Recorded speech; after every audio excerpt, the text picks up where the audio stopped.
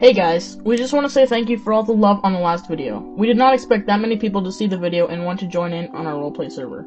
The server is going to only be for people that are going to make content on it. We made a public Discord server where we will interview you and see if you are good enough to roleplay with us in the server.